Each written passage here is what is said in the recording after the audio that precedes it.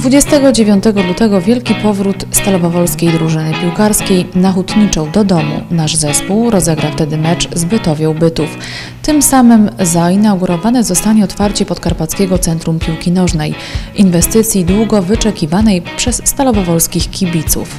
Bilety na to wydarzenie możecie Państwo kupić w punkcie kibica, który znajduje się w kasach przy stadionie, online po weryfikacji profilu w punkcie sprzedaży oraz w dniu meczu w kasach przed wejściem na stadion. Na trybunę główną bilet normalny można zakupić w cenie 20 zł. Ulgowy kosztuje 15 zł, dzieci do lat 6 płacą złotówkę. Bilety na trybunę hutnicza kosztują 15 zł. Ulgowy 10 zł, a dzieci do lat 6 również zapłacą złotówkę. Jeśli ktoś z Państwa chciałby zasiąść w sektorze VIP, za bilet musi zapłacić 69 zł. W dniu meczu do każdego biletu doliczana jest opłata w wysokości 5 zł.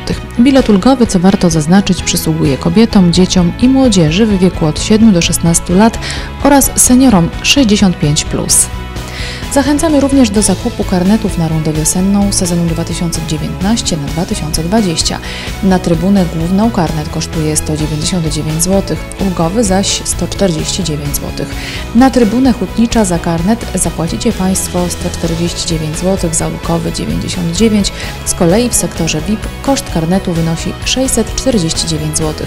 Tu w cenę wchodzi miejsce siedzące na trybunie głównej, catering w loży VIP, poczęstunek oraz napoje.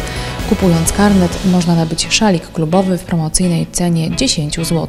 Ponadto każdy kibic może założyć kartę kibica. Karta pełni funkcję e-biletu zamiast jego papierowej wersji. Koszt karty to jedyne 15 zł, do karnetu 10 zł. Jej posiadacz będzie miał możliwość korzystać ze zniżek i konkursów z nagrodami. Zakupione bilety online będą się na niej automatycznie zapisywały bez konieczności wydruku biletu. W dniu meczu nie ma możliwości zakupu karnetów oraz kart kibica, a miejsca siedzące będą przydzielane automatycznie.